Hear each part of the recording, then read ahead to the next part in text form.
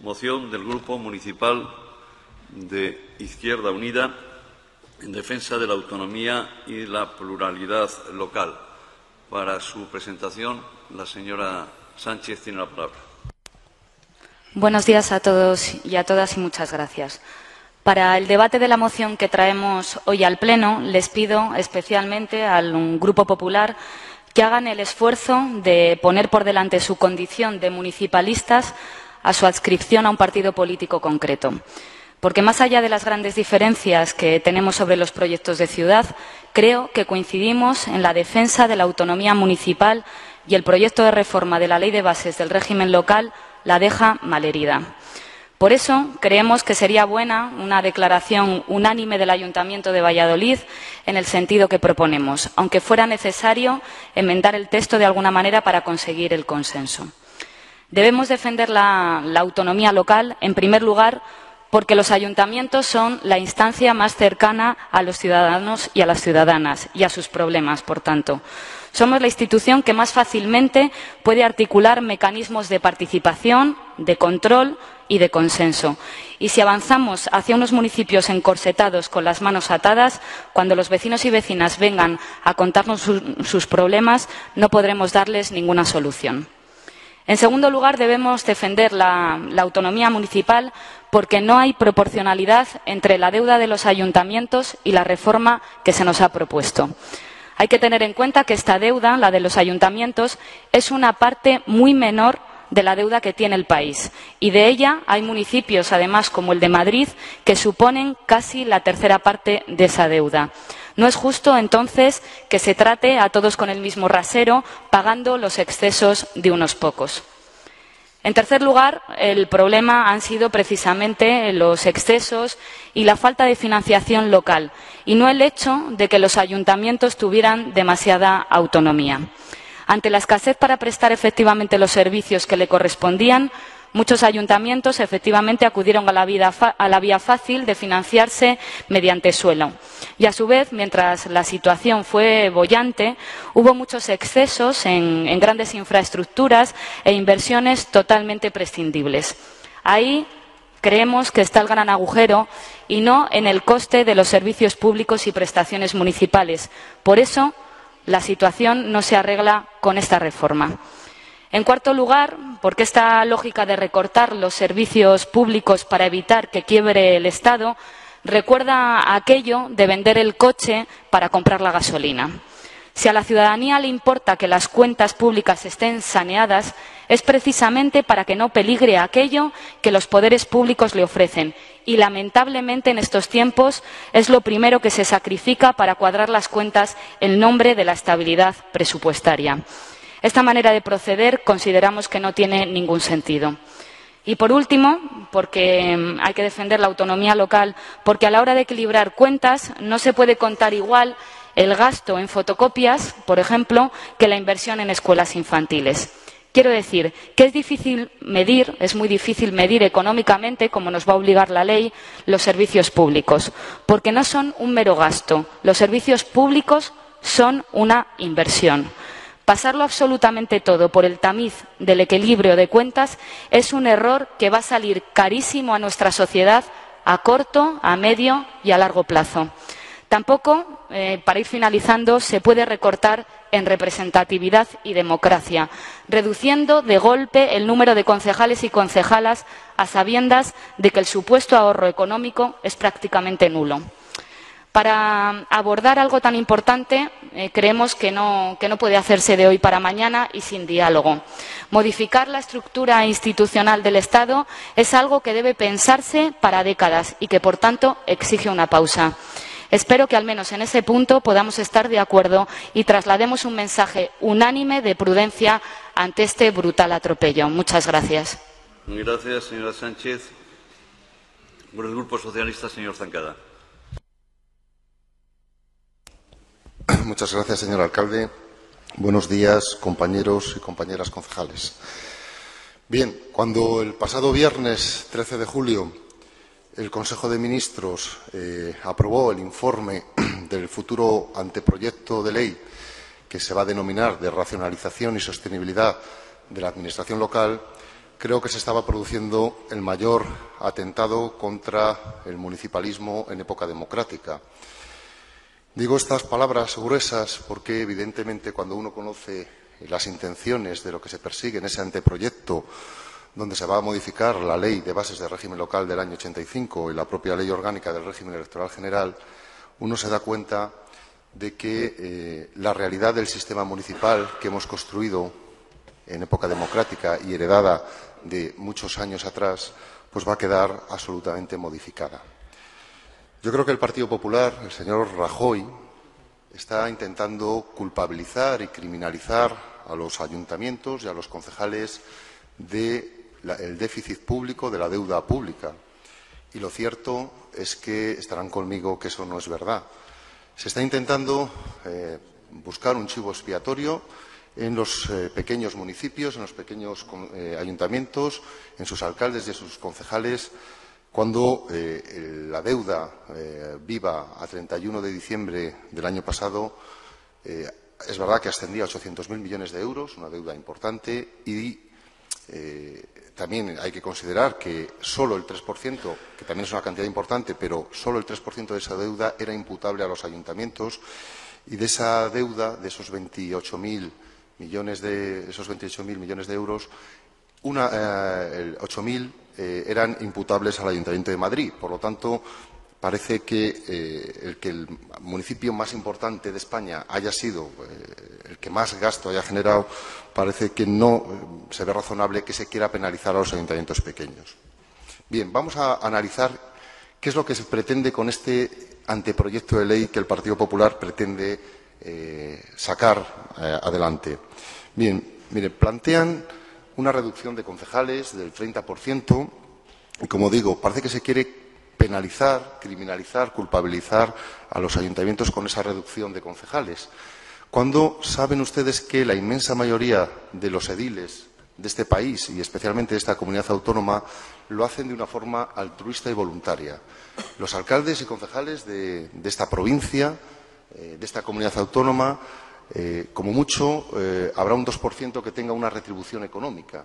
El resto presta un servicio de voluntariado 24 horas al día, preocupados por mantener los servicios, las condiciones de calidad en sus núcleos de población para que sus convecinos puedan vivir dignamente. El plantear esa reducción es abandonar a su suerte a esos vecinos, a esa población y a esos pequeños núcleos de población. Eso es lo que va a suponer una reducción de concejales, de efectivos, de ese batallón de voluntarios que existen y que trabajan por atender a, sus convecinos. Además, plantean vaciar de competencias a los ayuntamientos de menos de 20.000 habitantes. Eso significa que al final eh, se quiere reforzar las diputaciones en detrimento de los ayuntamientos. Y eso va en contra de dos principios básicos en el sistema municipal actual. El primero de ellos es se rompe el principio de equidad entre administraciones. Se quiere implantar una tutela por parte del Ministerio, facultando a la Junta de Castilla y León para que aplique auditorías en los servicios municipales y, en base a esos criterios y esos indicadores, sacar esas competencias de los ayuntamientos y trasladárselas a las diputaciones. Eso es una ruptura del principio de equidad. Hay una ruptura contra la autonomía municipal. Y eso, desde luego, creemos que como municipalistas no lo podemos tolerar, ni nosotros, ni ustedes, ni ningún concejal que participe directamente de esta filosofía. Porque además, el segundo principio que se rompe claramente es el de el derecho de los ciudadanos a elegir libremente a sus representantes municipales de una forma directa para que eh, aborden y trabajen sobre los asuntos cotidianos que afectan en el día a día. Eso se va a romper. Porque al final, cuando se vacíen de competencias los pequeños ayuntamientos, se transfieran a las diputaciones, serán los diputados provinciales, que no somos elegidos directamente, quienes al final van a decidir sobre las cuestiones del día a día en aquellos pequeños municipios. Y eso, desde luego, rompe la filosofía del sistema municipal y de lo que entendemos que es la representación y la democracia directa. Y finalmente, eh, en este anteproyecto de ley se pretende eliminar también las mancomunidades y las entidades locales menores.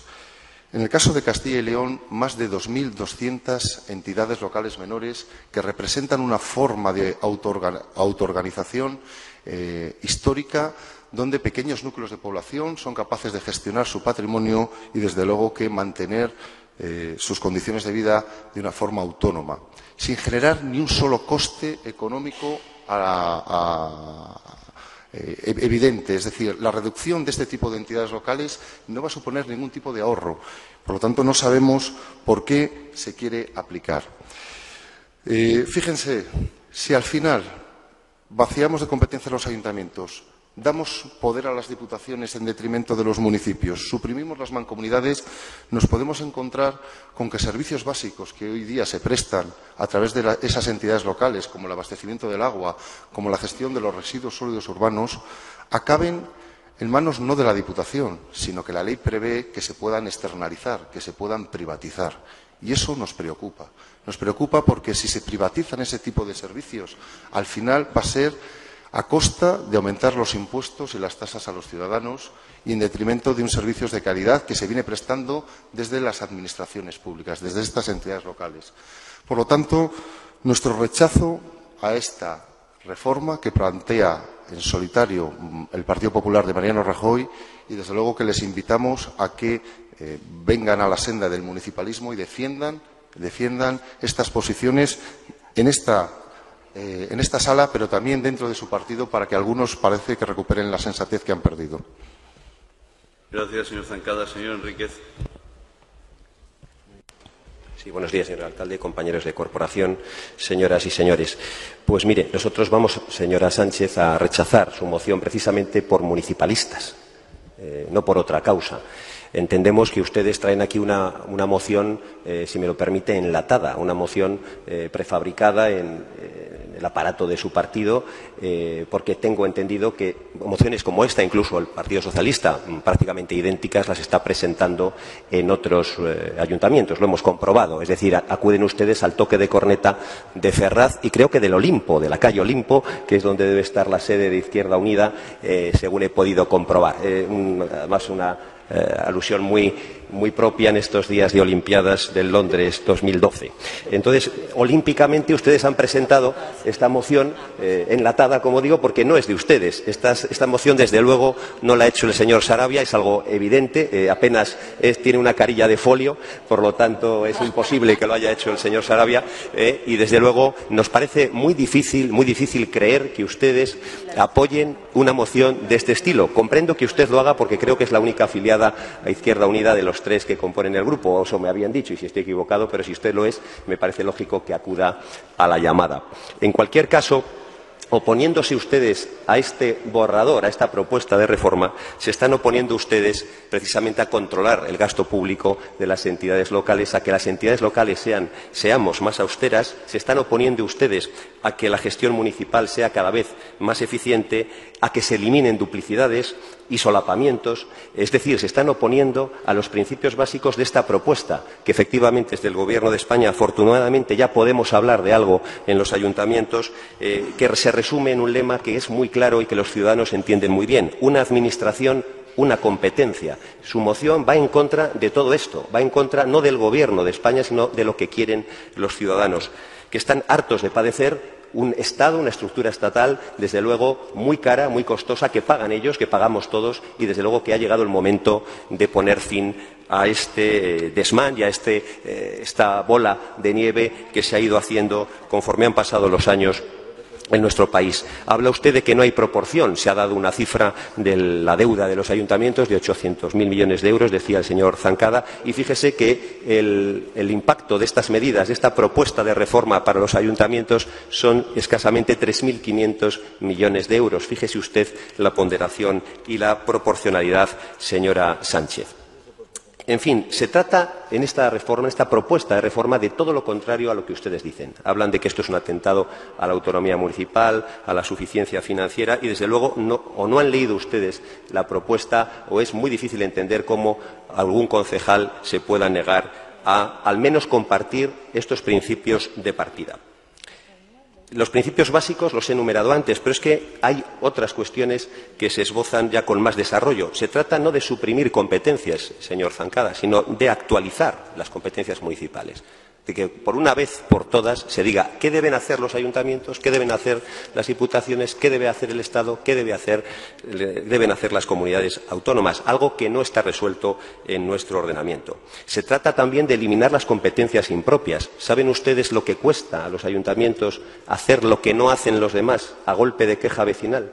En este ayuntamiento, cerca de un 20% de nuestro presupuesto se dedica a hacer lo que no hacen otras administraciones. ¿Eso es ir contra la suficiencia financiera de los ayuntamientos? Simplemente, si eso se aclarase, este ayuntamiento tendría más de 50 millones más de presupuesto para hacer lo que tiene que hacer eh, en función de su ámbito competencial.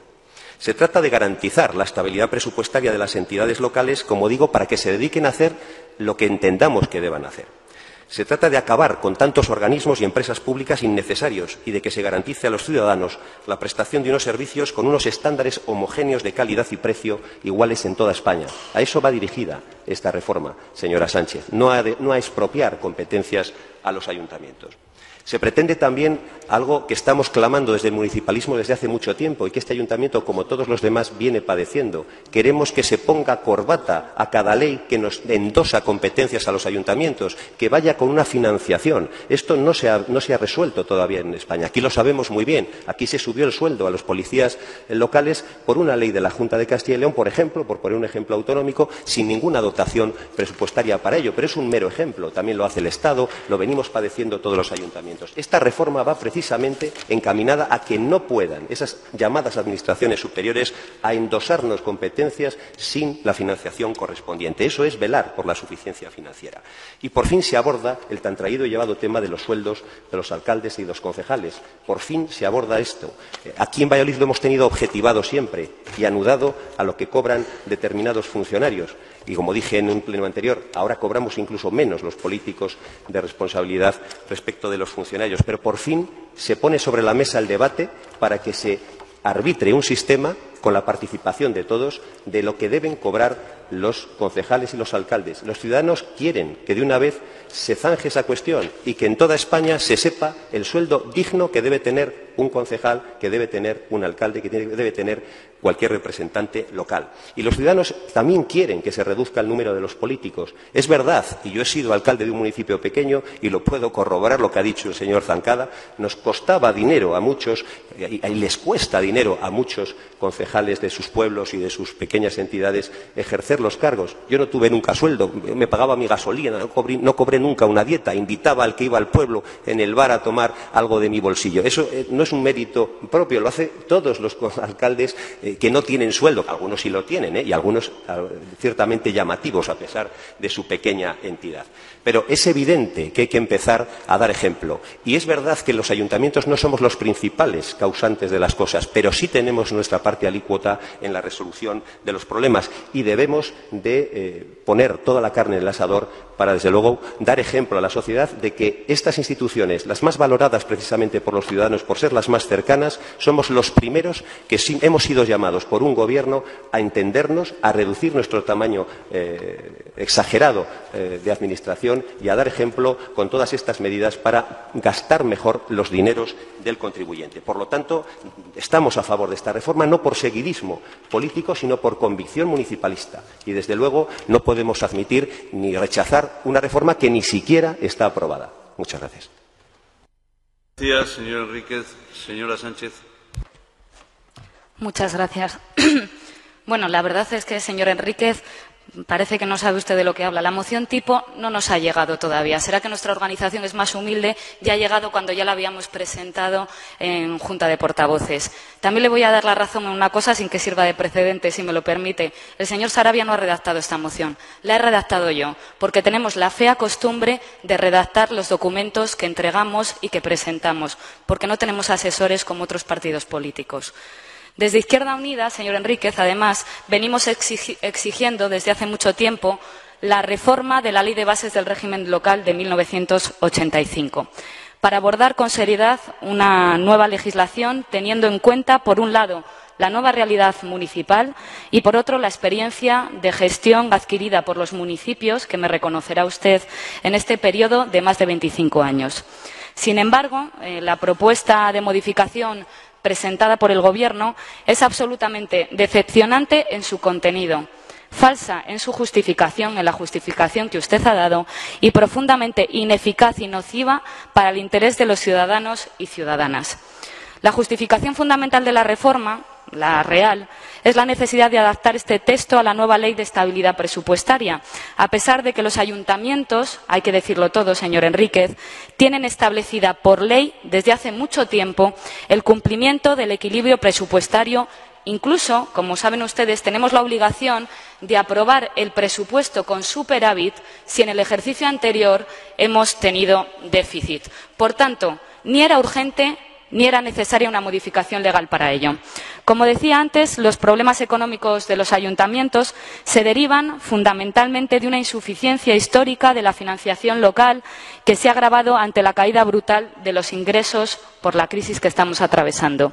Y a pesar de ello, la aportación al déficit del conjunto de las administraciones públicas es irrelevante en comparación con el calado de las medidas que tienen previsto emprender. Porque la reforma, además, establece una jerarquía entre administraciones que en ningún caso viene reconocida en la Constitución española y que rompe con la definición de la estructura territorial del Estado. Lo que hace básicamente esta reforma es modificar el modelo constitucional territorial, relegando a los ayuntamientos el mero papel de delegaciones de las comunidades autónomas y del Estado. Esa es la realidad, dejándolos sin contenido político y sin capacidad de gestión más allá de lo que decidan las otras administraciones que están por encima. La posibilidad, además, de que se pueda privar a los municipios, lo ha comentado el señor Zancada, de menos de 20.000 habitantes de sus competencias para prestar servicios mínimos, atenta claramente contra el principio de autonomía local. Da una preeminencia jurídica y política a las comunidades autónomas sobre los ayuntamientos, que no tiene además ninguna sujeción legal, y relega al mundo municipal a un papel totalmente residual en el contenido político de la gestión. Se da además a las diputaciones, también lo ha comentado el señor Zancada en su intervención, un papel político que no podemos entender. Recordemos además que tienen una representatividad menos directa. Ajeno además ese papel político a la estructura territorial del Estado y que contrasta perdón, y dista mucho de lo que ha dicho usted de una administración, una competencia, con las supuestas duplicidades administrativas que se pretenden eliminar. El control, además, para los ayuntamientos eh, va a ser tan exhaustivo que para llevar a cabo iniciativas públicas, fíjese la gravedad del asunto, iniciativas públicas de carácter económico deben aprobarlo previamente las comunidades autónomas. E incluso algo gravísimo, se llega al extremo de exigir un estudio de mercado con el objeto de que la iniciativa municipal, se dice expresamente, no afecte a la concurrencia empresarial. Es decir, que si la actividad se ejerce desde el ámbito privado, no es necesaria la actividad pública. Eso es lo que están diciendo ustedes. Estamos ante toda una declaración de intenciones y de intereses elevada a rango de ley, señor Enríquez. Desaparece además expresamente cualquier referencia a las competencias en materia de educación, de sanidad, que vienen además contempladas en el actual mm, texto, en la actual ley de bases del régimen local. Se eliminan también las referencias relativas a la igualdad de la mujer, protección del medio ambiente o vivienda, entre muchas otras. Se olvida así la gran experiencia de gestión local en muchas de estas materias y se obvia conscientemente que hoy existen estructuras estables de gestión en los municipios cuya única alternativa prevista en la ley es su desaparición.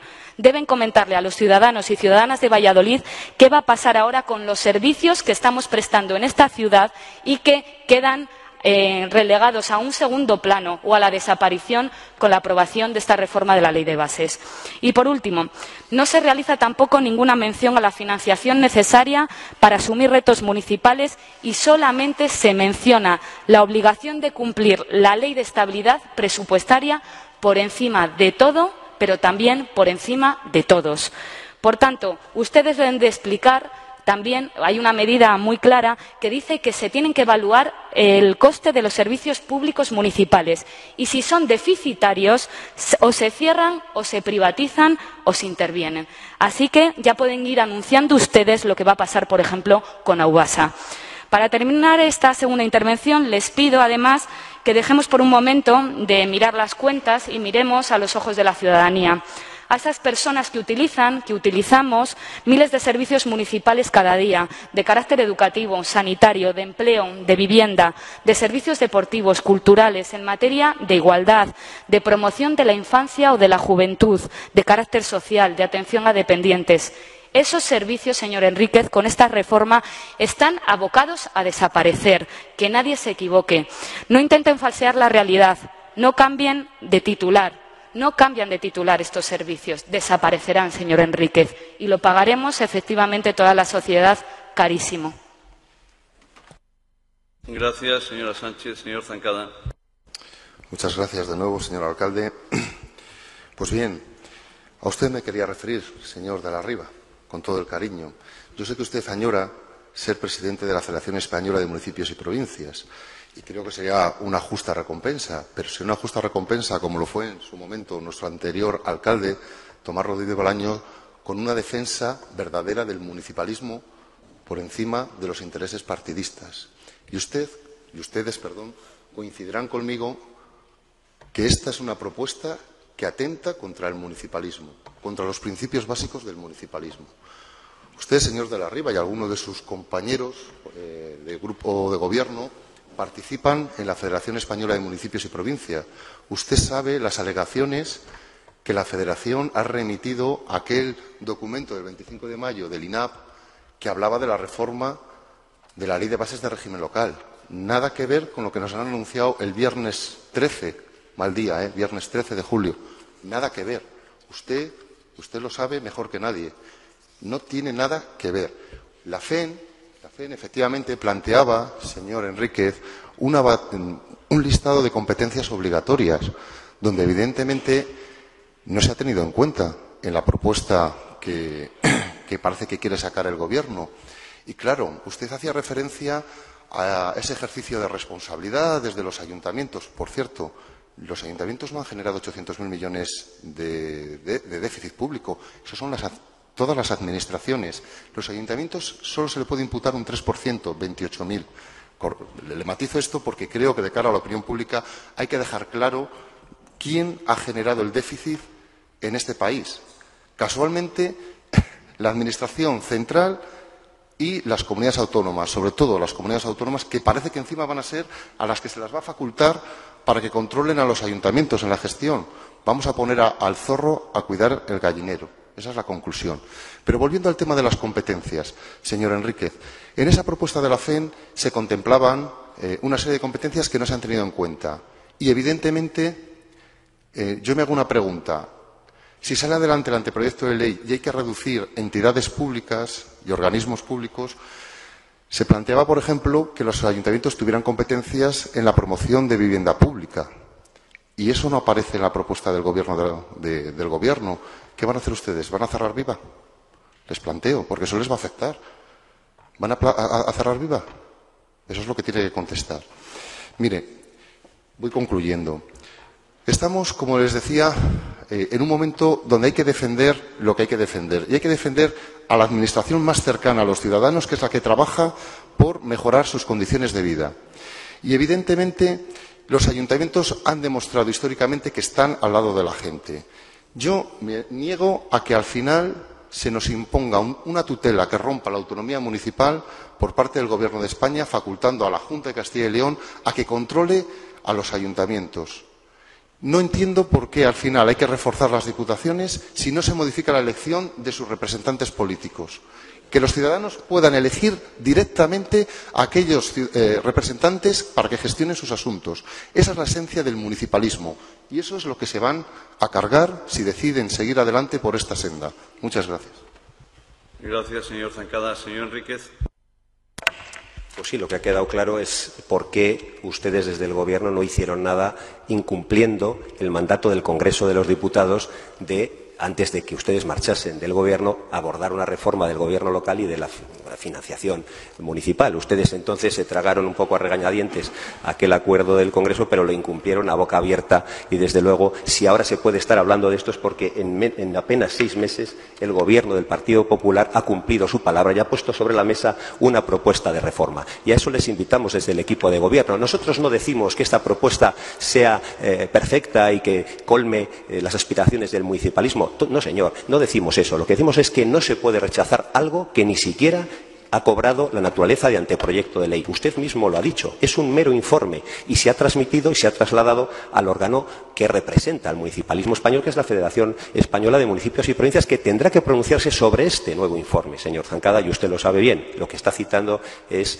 de una fecha anterior, si no eh, recuerdo, recuerdo mal, es anterior a este informe que ha emitido el Gobierno de la Nación. Y lo que queremos transmitirles a ambos grupos, y señora Sánchez, pues mire, si lo ha redactado usted, lo ha clavado, porque es que hemos comprobado que mociones de este tipo, prácticamente idénticas, se están presentando. A lo mejor se ha inspirado usted en ellas. Pero bueno, me alegro eh, comprobar de nuevo que usted eh, redacta. Pero hombre, también tienen asesor, ¿eh? tienen un asesor por el número de concejales en el grupo. Nosotros tenemos dos y ustedes tienen uno. o sea, no diga que no tengan ustedes asesor. Tienen un asesor conforme al reglamento como tienen los demás en función de la proporcionalidad. Que esa es la razón última por la que Izquierda Unida presenta esta moción. A usted todo esto no digo que no le importe, le importará lógicamente porque es concejal y tiene que importarle. Pero lo que le importa a su organización, más que todo esto, y lo dicen ustedes casi sin decir en el último párrafo, si lo ha escrito usted, pues sabrá a qué me refiero. Lo que realmente, y no le he oído todavía una palabra al respecto de esto, ¿eh? ahora lo voy a decir al final, me alegro, porque esa es la verdadera causa por la que ustedes se oponen a un mero informe de la reforma de la autonomía local o de la administración local. Es que ustedes quieren más poder, ustedes quieren más concejales, ustedes creen que, claro, lógicamente al reducir el número de concejales en las corporaciones, el precio del escaño se encarece y ustedes, como hasta ahora pues tienen la representación que tienen, donde la tienen porque gobiernan en algunos municipios, pues esa es la razón de fondo por la que ustedes quieren eh, empezar ya demostrando y haciendo caso a sus aparatos políticos, que es oponerse a todo esta es la manera de arrimar el hombro que tiene la oposición, es la manera de arrimar el hombro que ustedes pedían al Partido Popular cuando gobernaba la izquierda en este país, el oponerse a todo, oponerse a un mero informe, no sentarse a debatir sobre la reforma de la administración local. Es verdad que podemos buscar puntos de encuentro, pero si ustedes ni siquiera eh, se sientan en la mesa, si huyen a la primera de cambio del diálogo, están haciendo un flaco favor no al Gobierno, sino a los españoles, como decía antes, que nos están demandando que los políticos demos un paso adelante. Es cierto que el problema de los ayuntamientos es menor respecto al de otras administraciones, pero es un gran problema. Es un gran problema igualmente. ¿Dónde están los controles que tanto usted aplaude? ¿Dónde está esa autonomía municipal en ayuntamientos muy cercanos donde se ha vulnerado todo tipo de controles? 400 millones de euros de deuda en algunos ayuntamientos que tienen ciento y pico millones de euros de presupuesto. Eso es lo que usted quiere consagrar el despilfarro y la ausencia de controles que han derivado en esa deuda ingente de los ayuntamientos. Pues mire, nosotros desde el Partido Popular estamos dispuestos a reformar todos los ámbitos de la Administración, empezando por lo local y siguiendo por los demás, pero desde luego sin renunciar a dar la cara ante los ciudadanos que nos están exigiendo medidas como esta. Les llamamos y les invitamos a que no desechen el diálogo. Muchas gracias. Gracias, señor Enríquez. Para cerrar el debate, señora Sánchez. Bueno, muchas gracias. Señor Enríquez, por eso hacemos una moción, porque todavía no está aprobado. Si hiciéramos una moción cuando ya estuviera aprobada la reforma de la ley de bases del régimen local, usted nos diría que lo hubiéramos traído antes. Lo traemos por eso, para debatir. También nos dice que nos oponemos a todo. Convendrá conmigo que es muy difícil no oponerse a todo según están dejando el país. Y usted lo sabe. Bueno, pues sinceramente me toca cerrar el acuerdo, esta moción, como es habitual, sin un acuerdo, como viene siendo habitual. Ustedes van a dar la, bendición al recorte de la autonomía local y, en consecuencia, dan la bendición al recorte de los servicios públicos. El nombre, además, de la sacrosanta estabilidad presupuestaria que siempre sigue la ley del embudo. Y esa es la verdad. La parte estrecha para la gente más humilde. Y no es extraño porque la bendición la dan ustedes, hablando de ayuntamientos, como decía, que utilizan la misma lógica en esta ciudad. Ustedes que han invertido millones de euros en el túnel, por ejemplo, de la Avenida de Salamanca y luego piden un esfuerzo a las familias que pagan escuelas infantiles. Ustedes que despilfarran en una cúpula, que luego tienen que albergar muchísimas eh, actividades allí para justificar su construcción, pero suben a la vez el precio de todos los servicios públicos y disminuyen eh, las ayudas y todas eh, las políticas sociales. Ustedes que creen que es indispensable destinar dinero público a promocionar el pádel o los toros, pero consideran inviable mantener una escuela municipal de música. Así cuadran ustedes las cuentas realmente, señor Enríquez. Este recorte en autonomía, además, ya lo ha adelantado usted, no es solo un recorte social, sino también un recorte en democracia.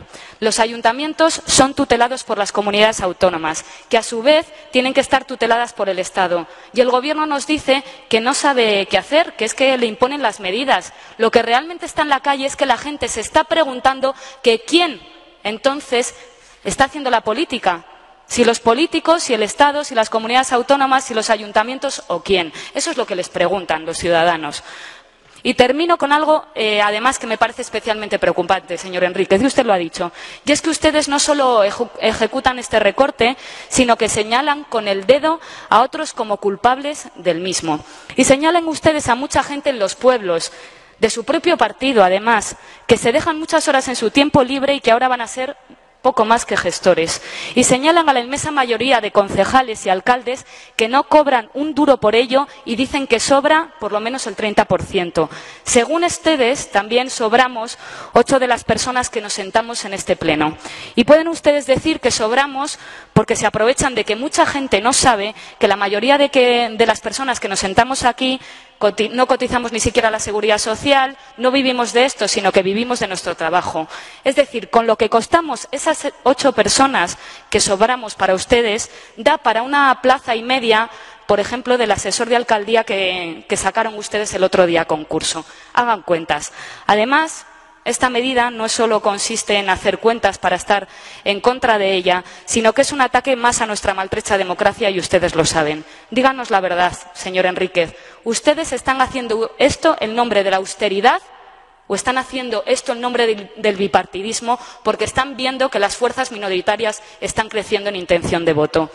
Está claro que nos encontramos ante la segunda. Sí, ya voy terminando, señor alcalde. Está claro que nos encontramos ante la segunda opción. Quieren limitar la capacidad de elección de la ciudadanía, porque saben perfectamente que un porcentaje altísimo de concejales y concejalas en este país no cobra. El alcalde, además, lo ha dicho públicamente y ustedes votan en contra y, desde luego, de verdad que sí, en su caso, por mera disciplina de partido. Ustedes sabrán. Muchas gracias. Cerrado el debate, se somete a votación la moción. ¿Votos a favor? ¿Votos en contra? Decae la moción con 12 votos a favor y 17 por favor, le ruego, guarden silencio. Si no guardan silencio, me veré obligado